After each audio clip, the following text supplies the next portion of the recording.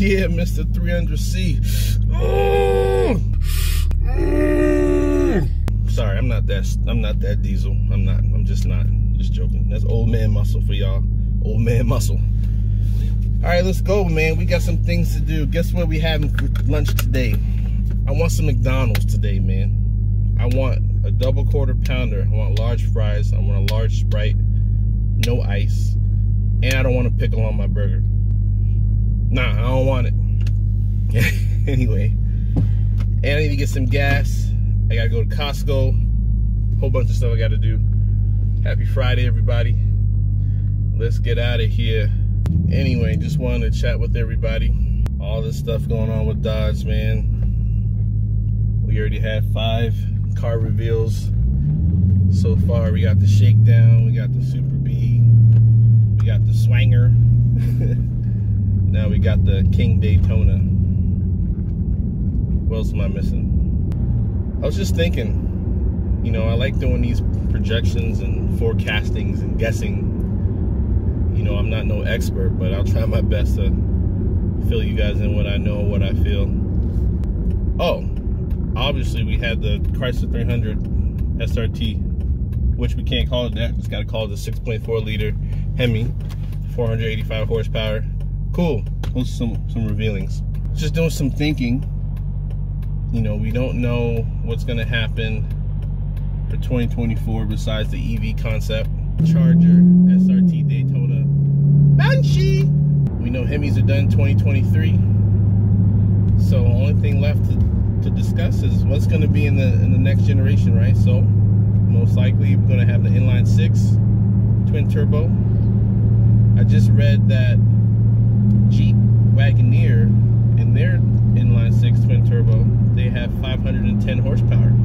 Mm-hmm. Mm-hmm. So once Dodge is finally ready to tell us, hey, we're gonna put this in our next generation Charger, maybe Challenger. Rumors that Challenger might not even come back, but let's just pretend that they are. We're talking about a 500 plus twin turbo inline six vehicle. I love the power that's associated with it, which is good. But what's it gonna sound like? and I've heard other inline six vehicles, and I'm not a fan. I'm sorry. Like, sure you can make them aggressive, but I don't like them at all. And I'm not, I'm not excited about it. And I wouldn't get a Charger if it had inline six and it sounded like the way how it sounds now. Obviously, back in the day, Dodge did have a Hemi 6. What if they bring that back? or maybe just a branding name. And with the inline six, maybe call it like the Hemi six trim or something, just to have the Hemi name so everybody can be happy. And then what if they put a tweak on it and it sounds like a V8 or it sounds really good compared to what's out there in the marketplace? That would pique my interest. You know, if it had a nice deep rumble, didn't sound too raspy or ricey, you know, but had a nice little similar tone to a V8, I'd consider that. I'd, I'd rock that. And then they just throw in some hybrid technology in there, which they probably may do. And there you go. We got all-wheel drive, twin turbo, inline six, Hemi six. and I think everybody would be happy. I think it's a win-win. So let's cross our fingers and hope that we get something good in the, in these next coming year or two. And this is a this is a stretch by any means. Stellantis is just come through and shut everything down, man. This French uh, this French company, they don't like V8s, man. They don't like us Hemi boys.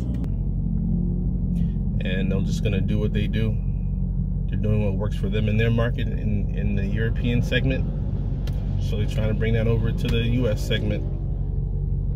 So yeah, that's my quick video, quick thoughts. And I am out. Let me know what you guys think, Mr. 300C.